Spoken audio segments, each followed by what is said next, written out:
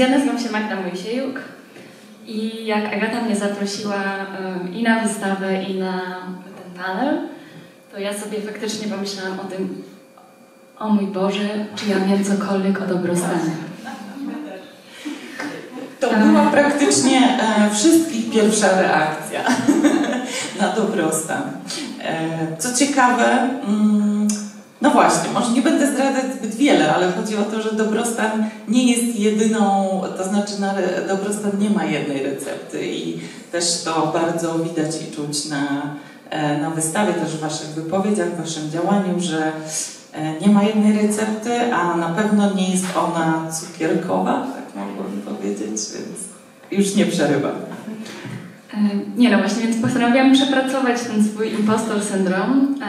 Jestem projektantką i już jakby cechą i domeną tego zawodu jest to, że się myśli o dobrostanie. Czasami nie własnym, ale odbiorcy albo materiału. Ja zajmuję się też, to się szumnie nazywa po polsku, projektowaniem przyszłości.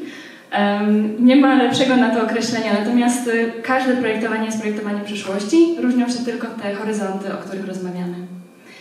Więc jako, ten, jako projektant y, zajmowałam się też pracą z ceramiką, poszukiwaniem różnych, pracą z rzemieślnikami, kontekstami społecznymi, pracą z materiałem. Ceramika jest takim materiałem właśnie, Marcin, który jest doskonałym narzędziem dla pracy projektanta, e, także jako terapią, e, gdyż e, studiowanie projektowania jest studiowaniem perfekcjonizmu, a ceramika uczy tego odzwyczajania się od tego perfekcjonizmu.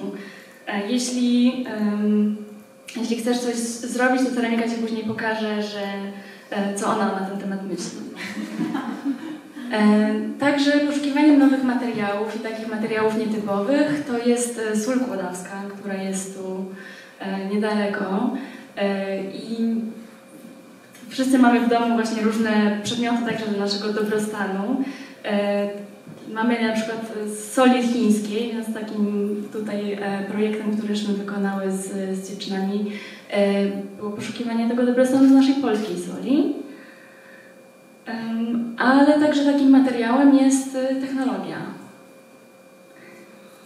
Więc y, tego poszukiwanie tych nowych kontekstów pracy z technologią e, są, e, są tym, co też mnie bardzo inspiruje i napędza. One są po prostu kolejnym narzędziem, którym możemy się, e, możemy się bawić i którym możemy zadawać różne pytania. Więc ja też miałam szczęście studiować na School of Work, e, gdzie takie pytania właśnie mogliśmy zadawać i moją pracą dyplomową były wydziane struktury na robocie Kuka.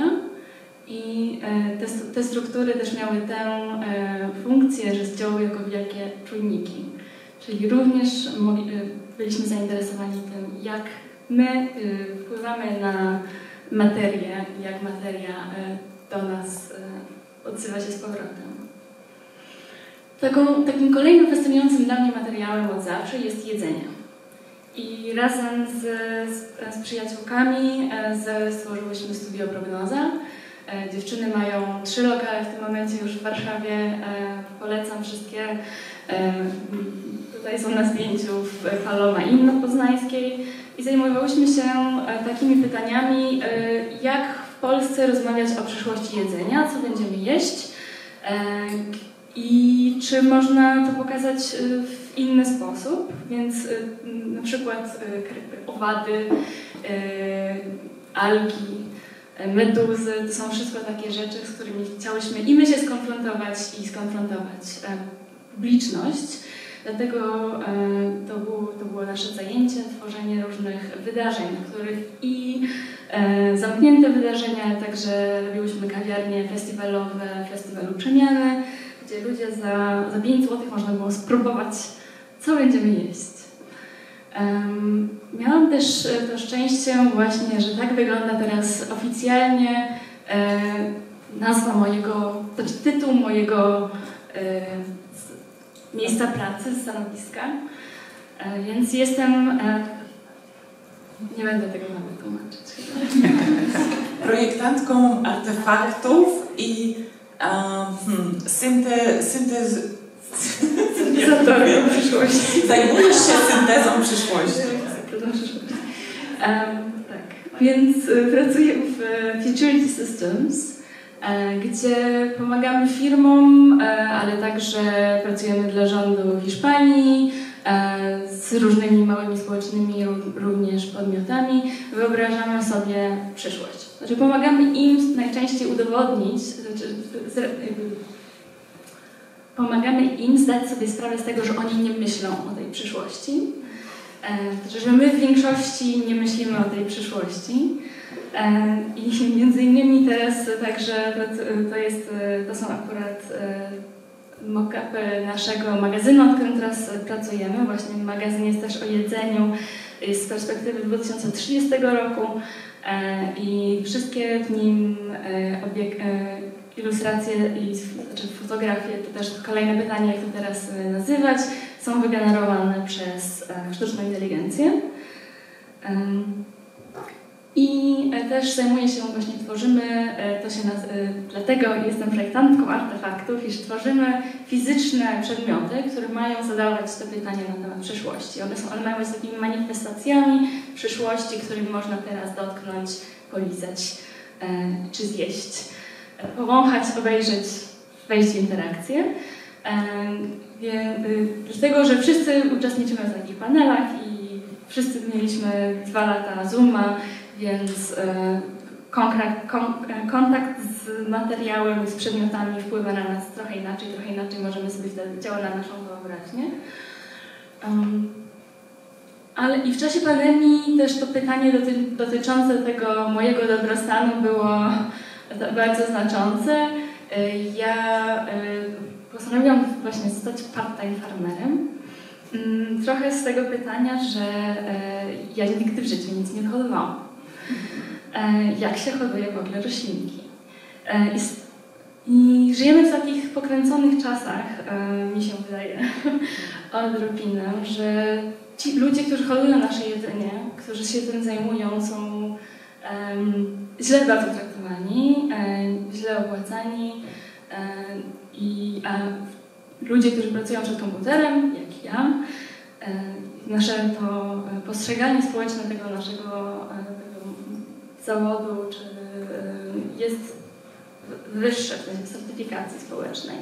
Natomiast później, ponieważ nic nie, jakby nie pracuję ciałem, to muszę chodzić na siłownię, gdzie ja, gdzie ja płacę za to, żeby pracować. Wydawało, mi się to dość e, absurdalne. I połączenie tego ogrodnictwa z, z, z siłownią wydało mi się takim czy, pytaniem, czy gdybyśmy wszyscy zaczęli hodować pomidory z takim samym zapałem, jak biegamy, jakby to wpłynęło na nasze, nasze miasta? Czy dlaczego y, mówimy o sobie, że jesteśmy biegaczami, crossfiterami, a nikt nie, nie mówi, że jest ogrodnikiem, oprócz mojego taty. Ale właśnie, że dlaczego, dlaczego to mój tata dopiero tak e, zostaje, jakby z dumą mówi, że jestem ogrodnikiem, a nie jesteśmy wcześniej, więc właśnie to jest projekt e, Garden Fit. Można, zapraszam właśnie na, na wystawę, gdzie można pomachać e, grabkami.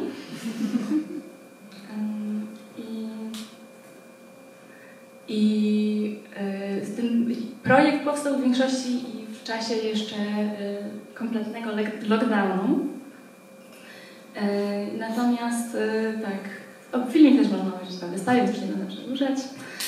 Natomiast z tego miejsca chciałam Państwu wszystkim też przypisać, że jeśli Państwo myślą też, dlaczego w ogóle kogoś namawiać do ogrodnictwa, to e, dlatego, iż jest to jedna z najlepszych czynności, jakie możemy dla siebie wykonać. Znaczy, e, przebywanie z roślinami, e, przebywanie na świeżym powietrzu, aktywność fizyczna na świeżym powietrzu e, naprawdę mają nieprawdopodobny wpływ na nasze samopoczucie i na świecie też się zaczyna to rozpoznawać oficjalnie w,